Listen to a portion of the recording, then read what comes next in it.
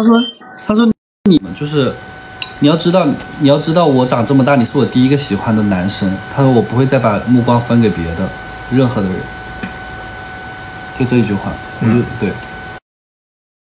今今天那些来来发到来去我的各种平台私信我的时候，我第一时间我看到我说这些人好像脑子有病，我就直接就把他们拉黑的，我就直接拉黑了好几个，然后拉黑几个又是小号说，哎还加到我的微信上来，因为我我的微信就是我的那个工作微信嘛，就他们是验证消息在那里给我发过来，嗯。我之前就跟你讲过这个问题，你是不是之前你也说过这些人都有病，但现在还是有，就一直来搞，嗯。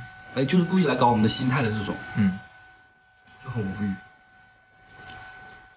就是我不希望你，我不希望你生气。我没有生气了，就感觉哎，有些人总觉得我就像一个，我像个没见过人一样的，好像我对谁都会发情，还有我好像我好像成绩这么好看，我我视而不见，然后我对外面对一个只要是个人我都会发情，我都会对他有意思，真的很夸张，我真的不是那种很爱发情的人啊，你们不要把我想得像一个像个发情的发情的公狗一样，老婆这么好看我我不看，我天天在外面找野花，有病吧你，是不是有病啊？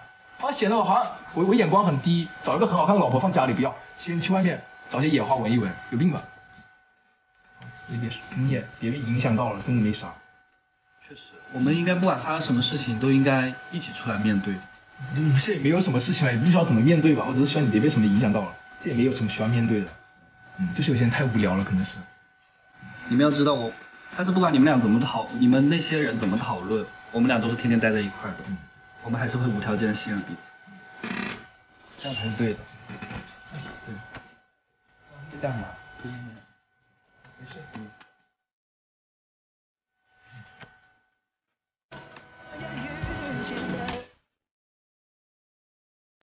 一直觉得很无语，就有些无语啥呀？有些脑残，你们就是不要再给我发私信了。啥呀？你说人？我我都不具具体叫什么名字我就忘了，三四个吧，给我发了好几个那种私信，啥私信？就那种一种就是去鉴别你微表情的那种私信啊，啊，然后呢？然后就很无语啊，而且还还给我发到我的微信上面来，